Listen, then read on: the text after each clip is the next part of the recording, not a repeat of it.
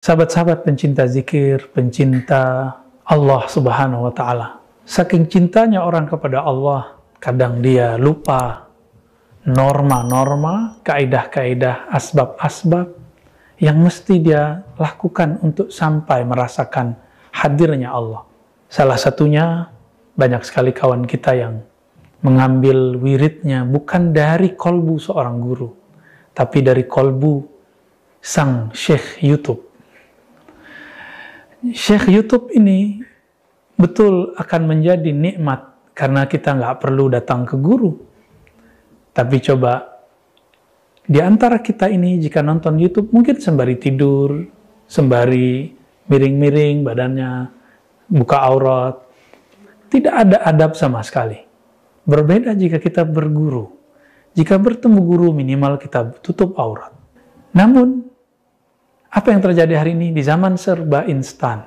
Karena makanan pun bisa dipesan lewat aplikasi-aplikasi ojek online.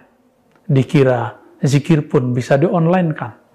Dan kami ingin mengingatkan siapa saja yang mengobrol zikir-zikir secara online. Antum harus tanggung jawab secara rohani di hadapan Allah Subhanahu wa taala karena membagikan mutiara secara acak membagikan sebuah ilmu bukan kepada ahlinya. Jika di dalam surat An-Nisa ada larangan, walal tu'tus sufaha, jangan berikan harta waris kepada anak-anak yang masih safih. Itu benda fisik, materi. Tidak boleh diberikan kepada orang-orang yang belum cukup akalnya, belum cukup umurnya. Lalu kenapa dibolehkan? Kenapa kita bagi-bagikan secara obral di YouTube? Sehingga terbuka, yang ilmu ini tadinya bercahaya, ilmu tadinya bertuah, sekarang menjadi tidak bertuah.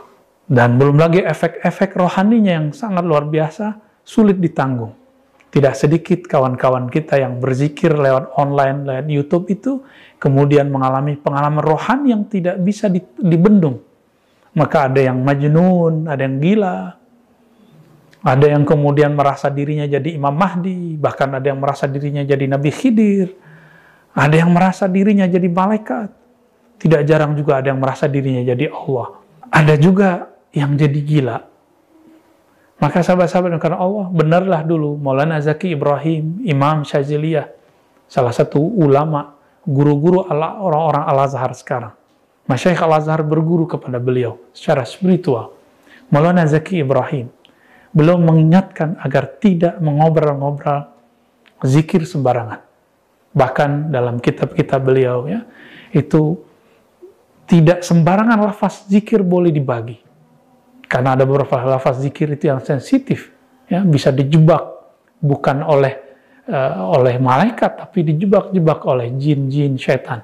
Teman-teman ini bukan perkara sekedar merasakan ketenangan hati tapi ini perkara langit bumi dunia akhirat. Maka fanzur benarlah kata Imam Ibnu Sirin, fanzuru amman ta'khuzuna dinakum. Perhatikan kamu ngambil ilmumu dari mana. Maka jika dia dalam ilmu hadis, ilmu hadis itu ilmu yang zahir, hissi samai, apa yang didengar, apa yang dilihat, apa yang dibaca. Itu wajib melalui jalur sama ala lafzi syekh, mendengarkan kalam guru. Atau guru menyetorkan, murid menyetorkan bacaannya, seperti para penghafal. Atau yang ketiga, ijazah guru mengizinkan muridnya membaca hadis, mengajarkan hadis. Atau munawalah, hadiah yang isinya juga ijazah. Di luar itu, maka dalam ilmu hadis itu doif dan itu tertolak. Maka sama dalam tradisi ahli zikir itu lebih ketat lagi. Tidak boleh mengambil zikir dari kitab yang nemu. Tidak boleh mengambil zikir dari cara otodidak. Kecuali zikir-zikir yang guru-guru kita sudah mengijazahkan secara umum. Seperti Ratibul Attas, Ratibul Haddad, itu memang masyaikh-masyaikh Ba'lawiyah. Mereka membolehkan. Silakan amalkan secara terbuka.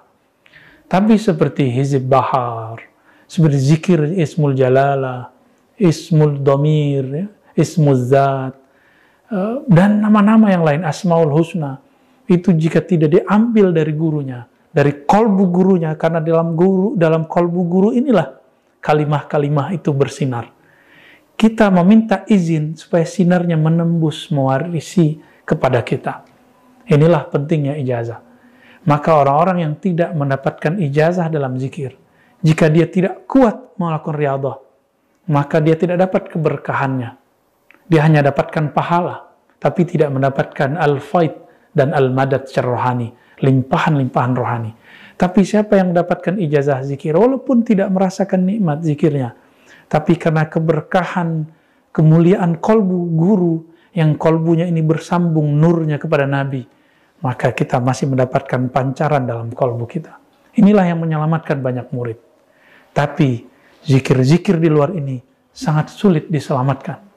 Maka sahabat-sahabat karena Allah tidak boleh zikir tanpa ijazah, kecuali zikir yang am, zikir yang umum.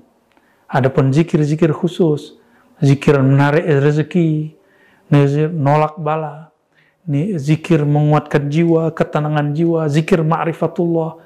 Ini harus dengan bimbingan guru yang kita ketemu secara fisik. Meskipun guru itu bisa mendatangi kita secara rohani, tapi ketemu fisik adalah hal yang wajib. Kecuali kita ini sudah sampai levelnya Sayyidina Uwais Al-Qarni. Yang beliau cukup dengan merawat ibunya.